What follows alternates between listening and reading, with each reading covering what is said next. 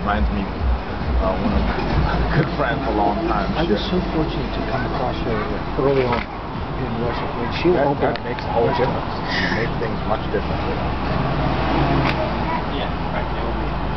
No, no, the old. Right. We're going to see what's happening up there.